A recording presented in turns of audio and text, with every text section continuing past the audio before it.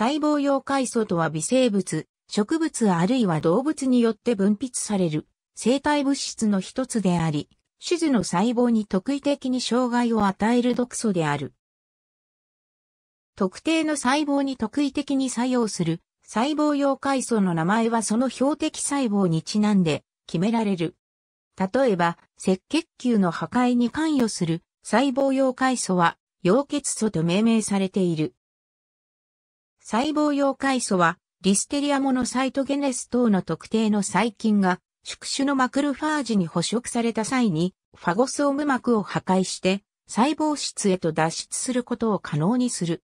細胞用海素あるいは、細胞溶解毒素という用語は、細胞への溶解効果を有するメンブレンダマジングトキシンを表現するためにアラン、バーンハイマーによって最初に提唱された。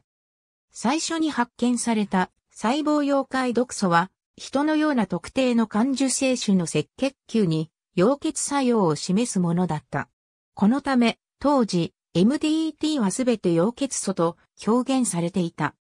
1960年代に特定の MDT は白血球などの赤血球以外の細胞に作用することが判明した。こうして、溶血素と区別するために、バーンハイマーは、細胞溶解素という新用語を作った。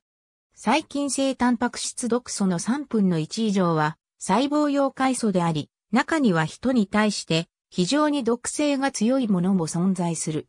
例えば、ボツリヌス毒素の毒性は人に対してヘビ毒よりも 3X105 以上強く、中毒量はわずか80から 8mg である。クロストリジウムパーフリンジェンスやブドウ球菌などの多種多様なグラム陽性菌やグラム陰性菌は細胞用海藻を持つ。細胞用海藻について様々なテーマの研究が行われている。1970年代以来40以上の新規の細胞用海藻が発見されている。今日までに約70個の細胞用海藻タンパク質の遺伝的構造が研究され公開されている。マクソン症の詳細なプロセスも調査されている。ロスジョンらは、真核細胞上に膜孔を形成するチオール活性化細胞溶解素であるパーフリンゴリジン O の結晶構造を示した。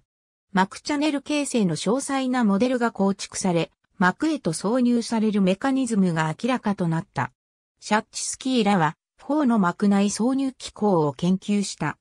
ラリーらは多くのグラム陰性細菌によって分泌される MDT のファミリーである RTX 毒素の膜貫通モデルに焦点を当てた。RTX から標的脂質膜へのタンパク質の挿入及び輸送プロセスが明らかになった。チオール化合物によって活性化されるか否かで2つに大別される。細胞用海素はその障害メカニズムにより3つのタイプに分けられる。ポリン構造膜孔膜融合による膜孔形成膜孔形成細胞用海素によって形成される膜孔構造膜孔形成細胞用海素とは細胞膜に膜孔を形成し細胞死を誘導する毒素のことである。すべての膜障害性細胞用海素の約65%を構成する。最初に見つかったのは1972年にマンフレッド・メイヤーによって発見された赤血球の C5C9 挿入であった。PFC の酸性生物はバクテリア、真菌、さらには植物など広範囲に存在する。PFC の病原性発現機構には通常、標的細胞の膜へのチャネル、または穴の形成がある。この膜孔の構造は様々である。ポリン様構造は一定の大きさの分子を通過させる。膜孔全体で電状が不均一に分布し、選択的に特定の分子のみを通過させる。ポリン様構造の PFC には、黄色ブドウ球菌アルファ溶血素がある。これとは別に、膜孔膜融合によって形成するタイプもある。CA2 によって制御される商法の膜融合がこのタイプである。段階1、PFC 単量体が細菌などの細胞で合成されて細胞外へと分泌される段階に PFC 単量体が標的細胞膜上に接着し、オリゴマーのクラスターを形成する。段階3、標的細胞膜にチャネルを形成する。膜孔形成細胞用海素による膜孔形成の過程より複雑な膜孔形成機構には PFC 単量体のオリゴマー化過程が含まれる。この膜孔形成機構は3つの段階を踏む。細胞用海素が微生物によって産生される。大腸菌などのある種の微生物の場合、細胞用海素を菌体外に放出するために自身の細胞膜にまず穴を開ける必要がある。この段階では、水溶性の形態で、タンパク質単量体が放出される。この形態の細胞用海素は、酸性微生物にとっても有毒である。例えば、コリシンは、大腸筋細胞内で核酸を消費する。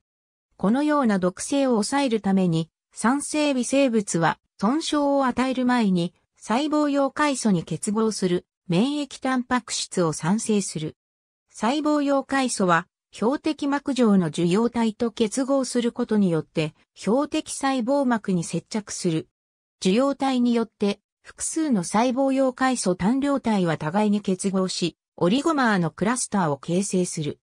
形成された細胞用海素クラスターは、標的細胞の膜を貫通し、膜孔を形成する。膜孔のサイズは1から2ナノメートルから25から30ナノメートルまで様々である。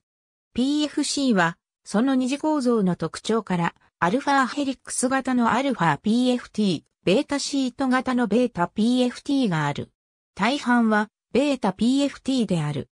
アルファ PFT のサルモネラ菌由来の細胞用海素 A は、膜孔を形成する際にアルファヘリックスの束を細胞膜に差し込む。一方、ベータ PFT とは、ベータシート構造を束ねて、細胞膜内に細胞膜を貫通するベータバレル構造を形成する PFC のことである。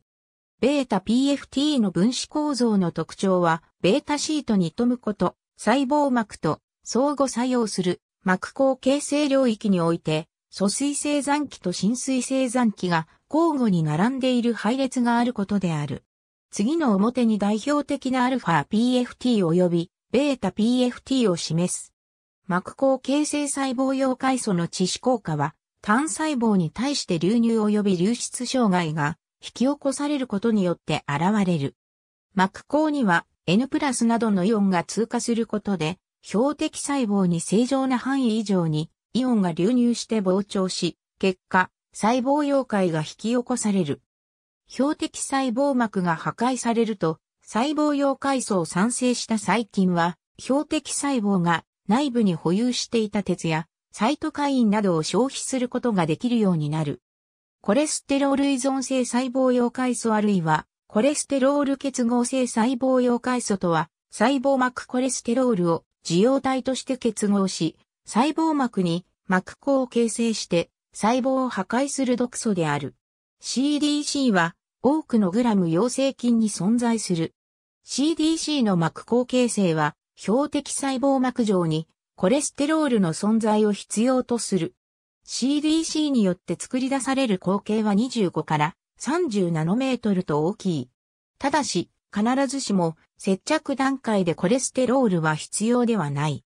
例えばインターメディリシンは標的細胞に結合する接着段階ではタンパク質中形容体の存在のみを必要とし、膜孔形成段階ではコレステロールを必要とする。